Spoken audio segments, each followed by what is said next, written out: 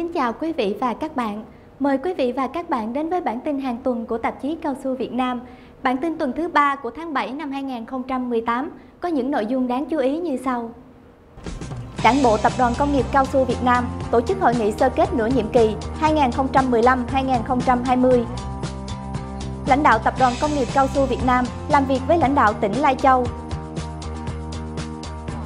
tổng kết 5 năm thực hiện quy chế phối hợp giữa Ban Thường vụ Công đoàn Cao su Việt Nam với Tổng Giám đốc Tập đoàn Công nghiệp Cao su Việt Nam.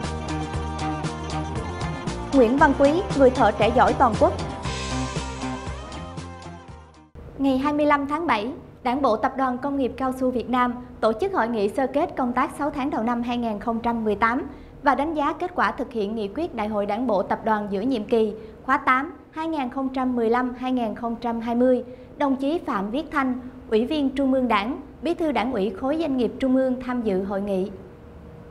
Phát biểu chỉ đạo hội nghị, đồng chí Phạm Viết Thanh đã ghi nhận, biểu dương và đánh giá cao những kết quả đạt được của Đảng bộ tập đoàn trong nửa đầu nhiệm kỳ qua trên các lĩnh vực như công tác xây dựng đảng, công tác lãnh đạo thực hiện nhiệm vụ chính trị, nhất là kết quả tái cơ cấu, đổi mới và nâng cao hiệu quả hoạt động của doanh nghiệp. Tập đoàn đã chính thức hoạt động theo mô hình công ty cổ phần từ ngày 1 tháng 6 năm 2018. Theo đó, nửa đầu nhiệm kỳ năm 2015-2020, Tập đoàn Công nghiệp Cao su Việt Nam đã cơ bản hoàn thành các chỉ tiêu, nhiệm vụ đã đề ra. Tổng doanh thu đạt 66.368 tỷ đồng, tổng lợi nhuận trước thuế đạt 12.670 tỷ đồng, nộp ngân sách thực hiện 8.247 tỷ đồng, tăng 10% so nghị quyết đề ra. Thu nhập bình quân đạt trên 7,5 triệu đồng một người một tháng, tăng 7,7% so với nghị quyết. Chiều ngày 28 tháng 7, đoàn công tác tỉnh ủy Lai Châu do Bí thư tỉnh ủy Nguyễn Khắc Chữ làm trưởng đoàn đã đến thăm và làm việc với Tập đoàn Công nghiệp Cao su Việt Nam. Tại buổi làm việc, ông Trần Ngọc Thuận, Chủ tịch Hội đồng Quản trị Tập đoàn Công nghiệp Cao su Việt Nam đã báo cáo tình hình chung của tập đoàn. Theo đó, tổng diện tích cao su của tập đoàn là 415.000 hecta, riêng vùng Tây Bắc là 29.000 hecta. Trong đó, Lai Châu là một trong năm tỉnh phía Bắc có diện tích cao su lớn nhất với 13.000 hecta. Trong những năm đầu đưa vào khai thác, diện tích cao su tại Lai Châu đã cho năng suất gần 1 tấn một hecta. Có thể nói, việc đưa cây cao su lên Tây Bắc là một chủ trương đúng đắn của Đảng và Nhà nước. Phát biểu tại buổi làm việc, ông Huỳnh Văn Bảo, Tổng Giám đốc Tập đoàn Công nghiệp Cao su Việt Nam cho rằng, dự án cao su tại Lai Châu luôn nhận được sự ủng hộ và hỗ trợ tích cực từ lãnh đạo tỉnh Lai Châu. Ông Bảo mong tiếp tục nhận được sự hỗ trợ từ lãnh đạo tỉnh, các ban ngành trong sự nghiệp phát triển cao su của tập đoàn tại khu vực phía Bắc. Về phía tỉnh Lai Châu, ông Nguyễn Khắc Chữ, bí thư tỉnh ủy nhận định, diện tích cao su là lớn nhất trong các loại cây nông lâm nghiệp trên địa bàn tỉnh. Tập đoàn đã có nhiều đóng góp cho sự phát triển của tỉnh Lai Châu, giúp giảm nghèo, tạo việc làm, thu nhập cho đồng bào dân tộc thiểu số. Từ kinh nghiệm trồng, khai thác, quản lý và phát triển cây cao su của tập đoàn, tỉnh đã trồng và phát triển tốt một số loại cây như chè, quế, mắc ca, vân vân. Thời gian tới, mong rằng tập đoàn sẽ nghiên cứu đầu tư liên kết với tỉnh phát triển nông nghiệp công nghệ cao trên địa bàn. Sự phối hợp với Tổng Giám đốc Tập đoàn giúp nâng cao hiệu quả hoạt động Công đoàn Cao su Việt Nam. Đó là khẳng định của Bí thư Đảng ủy, Chủ tịch Hội đồng Quản trị Tập đoàn Trần Ngọc Thuận tại hội nghị tổng kết 5 năm thực hiện quy chế phối hợp giữa Ban Thường vụ Công đoàn Cao su Việt Nam với Tổng Giám đốc Tập đoàn Công nghiệp Cao su Việt Nam tổ chức vào ngày 26 tháng 7. Trong 5 năm qua, hai bên đã hoàn thành các nhiệm vụ và trách nhiệm của mình theo quy chế đã ký kết. Sự phối hợp đó đã góp phần quan trọng trong phong trào công nhân viên chức lao động và hoạt động công đoàn ngày càng hiệu quả. Theo đó, Công đoàn Cao su Việt Nam không ngừng đổi mới nội dung và phương thức hoạt động, vị thế và vai trò của tổ chức công đoàn từng bước được nâng cao. Cũng trong 5 năm qua, hai bên đã vận động công nhân viên chức lao động hỗ trợ cho các quỹ từ thiện, giúp đỡ các ngành, địa phương trong cả nước với số tiền lên đến hàng trăm tỷ đồng. Duy trì tốt chương trình nhà ở máy ấm công đoàn thông qua quỹ máy ấm công đoàn, phối hợp cùng tập đoàn tổ chức luyện tay nghề, thi thợ giỏi, xây dựng các giải thưởng nhằm tôn vinh các cá nhân, tập thể xuất sắc như giải thưởng cao su Việt Nam, công nhân cao su ưu tú, nữ công nhân viên chức lao động tiêu biểu, cán bộ công đoàn xuất sắc, tuyên dương gia đình công nhân có nhiều thế hệ làm việc trong ngành cao su, tuyên dương công nhân lao động là đồng bào dân tộc, công nhân lao động làm việc tại các dự án ở Lào và Campuchia, tuyên dương học sinh, sinh viên giỏi. Ngày 27 tháng 7, Công đoàn Cao su Việt Nam đã tổ chức hội nghị ban chấp hành lần thứ tư mở rộng, nhiệm kỳ 2018-2023, tổng kết tháng công nhân, tháng hành động về an toàn vệ sinh lao động năm 2018 và meeting kỷ niệm ngày thành lập Công đoàn Việt Nam. Năm 2018, với chủ đề hoạt động Năm vì lợi ích đoàn viên công đoàn, Công đoàn Cao su Việt Nam đã tham gia tích cực cùng ban lãnh đạo tập đoàn trong việc tham gia góp ý xây dựng kế hoạch sản xuất kinh doanh ngay từ đầu năm, ủng hộ chương trình điều chỉnh suất đầu tư, quản lý giá thành, giá bán, đảm bảo tiền lương và tiền thưởng của người lao động, thực hiện tốt công tác tuyên truyền phổ biến chế độ chính sách cho người lao động khi cổ phần hóa doanh nghiệp, vận động người lao động tham gia mua cổ phần. Cũng trong 6 tháng đầu năm 2018, Công đoàn Cao su Việt Nam đã hỗ trợ các đơn vị sửa chữa, nâng cấp các thiết chế văn hóa thể thao, đầu tư máy lọc nước, xây dựng nhà ăn cho công nhân lao động và khắc phục hậu quả do thiên tai gây ra. Thực hiện chương trình Ánh sáng công đoàn, trao nhà máy ấm công đoàn. Bên cạnh đó, Công đoàn Cao su Việt Nam còn tổ chức các đoàn đi thăm tặng quà cho các công nhân lao động làm việc tại các dự án thuộc Lào, Campuchia tổ chức các đoàn thăm tặng quà cho công nhân bị tai nạn lao động, công nhân có hoàn cảnh khó khăn. Cũng trong tháng công nhân, Công đoàn Cao su Việt Nam đã tổ chức trại hè thiếu nhi cho 500 cháu tại ba khu vực. Nhằm mục đích tăng cường thông tin báo cáo hai chiều giữa Công đoàn Cao su Việt Nam và các đơn vị trực thuộc, ngày 19 tháng 7, Công đoàn Cao su Việt Nam đã tổ chức hội nghị trực tuyến tập huấn kỹ năng soạn thảo văn bản cho cán bộ công đoàn. Buổi tập huấn nhằm trang bị kiến thức cho đội ngũ cán bộ công đoàn hiểu rõ những quy định về thẩm quyền, thể thức, cách thức về soạn thảo, ban hành các loại văn bản, đặc biệt là các văn bản trong hệ thống tổ chức công đoàn, nâng cao hiệu quả hoạt động của tổ chức công đoàn trong toàn ngành. Đây là nội dung nằm trong chuỗi hoạt động hưởng ứng tháng công nhân của Công đoàn Cao su Việt Nam nhằm bồi dưỡng, nâng cao kiến thức cho cán bộ công đoàn cơ sở. Hình thức tổ chức tập huấn trực tuyến lần này tại 9 điểm cầu từ thành phố Hồ Chí Minh đến các đơn vị miền Đông, miền Trung, Tây Nguyên và miền Bắc nhằm tiết kiệm chi phí cho các đơn vị cơ sở. Ngày 19 tháng 7, Công đoàn công ty trách nhiệm hữu hạn một thành viên cao su IA Hờ Leo bàn giao nhà máy ấm công đoàn cho gia đình đoàn viên Trần Nguyên Vũ làm việc tại xí nghiệp chế biến mũ cao su IA Khôn. Căn nhà bàn giao có diện tích 83 m2, tường xây ốp gạch men, mái lợp tôn, nền láng gạch hoa với tổng kinh phí hơn 200 triệu đồng. Trong đó, công đoàn công ty hỗ trợ 40 triệu đồng. Số tiền còn lại do anh em, họ hàng giúp đỡ và gia đình anh Vũ tích góp được. Theo kế hoạch năm 2018, Công đoàn Công ty trách nhiệm hữu hạn một thành viên cao su Air Hờ Leo trích 320 triệu đồng hỗ trợ đoàn viên công đoàn và người lao động trong công ty xây dựng 8 căn nhà máy ấm công đoàn. Ngay từ đầu năm, Công đoàn Tổng Công ty Cao su Đồng Nai đã tổ chức tuyên truyền vận động công nhân tích cực khai thác, tận thu sản lượng để tạo doanh thu và tiền lương cho người lao động, đồng thời thực hiện tốt chức năng và nhiệm vụ chăm lo bảo vệ quyền lợi cho người lao động để họ luôn tin tưởng, an tâm công tác. Tính đến ngày 30 tháng 6 năm 2018, tổng công ty đã khai thác được 8.410 tấn mũ cao su quy khô, thu mua 10.290 tấn, giá bán bình quân 35,8 triệu đồng một tấn, thu nhập bình quân đạt gần 6 triệu đồng một người một tháng. Song song với nhiệm vụ sản xuất kinh doanh, tổng công ty đặc biệt quan tâm đến đời sống vật chất, tinh thần cho người lao động. Cụ thể, tổ chức cho 1.329 cán bộ công nhân viên đi tham quan nghỉ mát với tổng số tiền hơn 2,9 tỷ đồng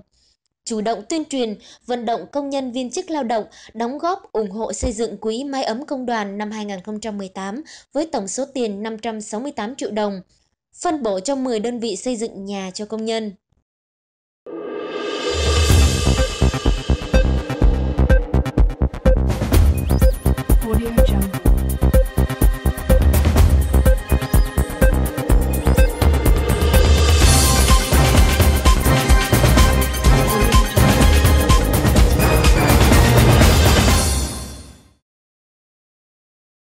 Giá xuất khẩu cao su trung bình 15 ngày đầu tháng 7 năm 2018 ở mức 1.347 đô la Mỹ trên một tấn, thấp hơn 4,1% so với mức giá xuất khẩu trung bình 15 ngày trước đó và thấp hơn 9,6% so với mức giá xuất khẩu trung bình 15 ngày đầu tháng 7 năm 2017. Lũy kế từ đầu năm đến ngày 15 tháng 7 năm 2018, giá xuất khẩu cao su trung bình ở mức 1.442 đô la Mỹ trên một tấn, thấp hơn 19,9% so với mức giá xuất khẩu trung bình cùng kỳ năm 2017.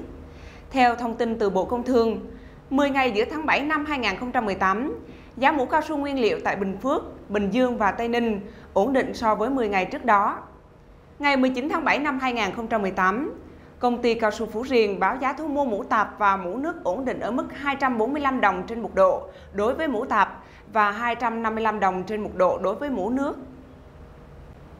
Mời quý vị và các bạn đến với diễn biến giá cao su trên sàn giao dịch Tocom tuần qua. Tuần qua, giá cao su tiếp tục giảm 2,3%.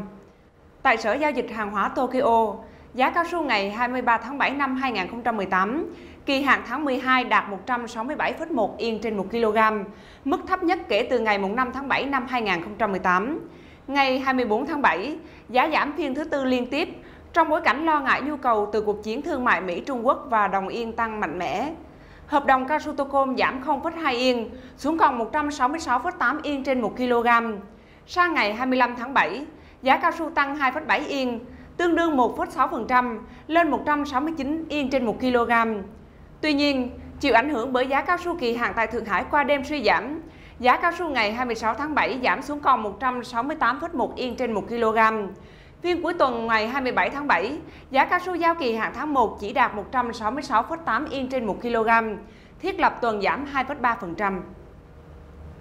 Thưa quý vị và các bạn, tại buổi tuyên dương 65 gương người thợ trẻ giỏi toàn quốc lần thứ 9 do Trung ương Đoàn Thanh niên Cộng sản Hồ Chí Minh phối hợp với Bộ Lao động Thương binh và Xã hội tổ chức tại thủ đô Hà Nội vừa qua, anh Nguyễn Văn Quý, công nhân nông trường cao su Bờ Ngông, công ty trách nhiệm hữu hạn một thành viên cao su Mang Giang, vinh dự là đại biểu duy nhất của tỉnh Gia Lai đạt giải thưởng này. Để có được tay nghề cao, có thành tích lao động xuất sắc, được tập thể ghi nhận là cả một quá trình rèn luyện và nỗ lực phấn đấu không ngừng nghỉ của người thợ trẻ sinh năm 1983 này.